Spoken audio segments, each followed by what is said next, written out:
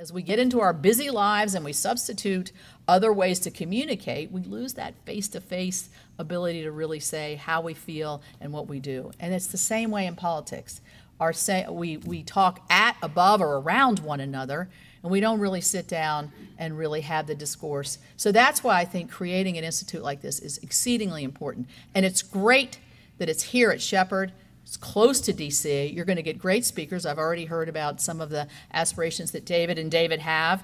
And I think what you're going to find is that even though you're going to get a lot of disagreement on fundamental philosophies, if people are treated with respect and not um, disparaged as evil or stupid or too old or too young or or the wrong color or the wrong sex, you can really find that there's at the core of us there's a lot there's more that's this common than where our differences are.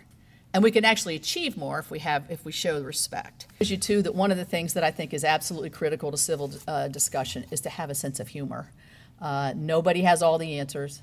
Nobody has all the all the, uh, the, the best ways to go, and and the Stubblefields by them uh, being active participants here with Shepherd. It's, it's I look forward to coming back and having a civil discussion.